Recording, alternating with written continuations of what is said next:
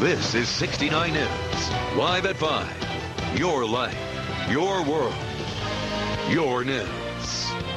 69 News, live at 5. Starts now. You're watching WFMZ TV 69 News live at 5 with Rob Vaughn, Wendy Davis, Troy Hein with sports, and meteorologist Ed Hanna with the exclusive AccuWeather forecast.